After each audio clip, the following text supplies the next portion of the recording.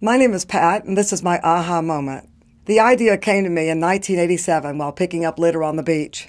As an educator, I thought about how important it is to teach children to live in a clean and healthy environment. I said, we need a character, maybe Uncle Sam, and out came Auntie Litter. I decided to become the first Auntie Litter on Earth Day 1990 and began traveling to schools to teach the environmental three R's reuse, reduce waste, and recycle. I eventually started a nonprofit organization to teach children and to expand our geographic reach. Today, children around the world are using our educational materials and singing Earth, We're in It Together. It doesn't get much better than that. I've always loved children, and I knew that reaching them as Auntie Litter would help them remember the importance of living in a clean and healthy environment. I love the creativity of the character and how the materials and programs that have been created are just so much fun for children. They're interactive and they're lasting. It always amazes me when someone comes up as an adult and says, I remember the day you came to my school.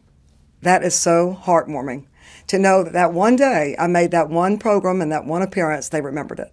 If you're passionate about something and you know in your heart it's the right thing to do, just move forward and do it.